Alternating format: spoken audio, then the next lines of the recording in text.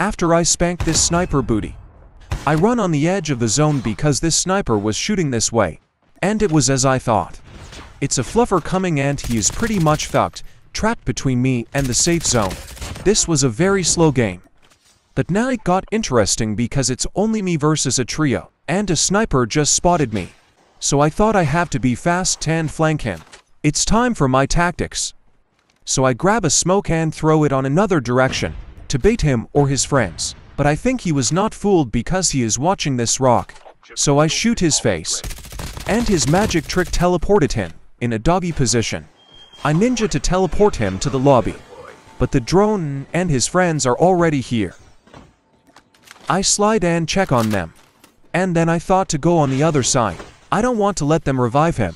Now that I'm here, I think he is helping him. So I shoot his booty, and immediately stop because I heard steps on my right. Then I go towards them with the snowboard. I'm looking for a good spot to stop and shoot. After I jumped over their head, I saw a ledge, which is perfect. Because I see them, and they don't see me. He tried to shotty my face but I put his booty down. Then I shoot the last guy, and switch to my shotty to give him a gentle spank. But I saw the drone so I snowboard the fuck away. They talk now but I need translation. Mas, pô, esse game phenomenal. Here is my biggest mistake because I just realized that I shot the down guy. I was like oh shit. Ali não era coach. Ai, que cena.